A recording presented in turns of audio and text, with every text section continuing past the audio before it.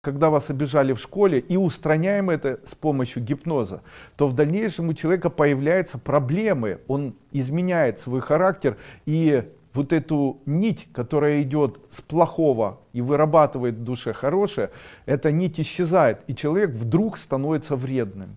Я это очень часто наблюдал и не мог объяснить себе, почему это происходит. Почему люди, которые многократно проходят э, процессы или вот такие э, э, сессии, правильно говорить. Вот такие сессии регрессивного гипноза или сессии поиска первопричин или там э, сессии, связанные с э, там, допустим, э, улучшением своего нынешнего состояния, вдруг в какой-то момент полностью изменяются. То есть раньше человек был добрый, хороший, ровный, становится агрессивный, хамовитый, становится злобный, начинает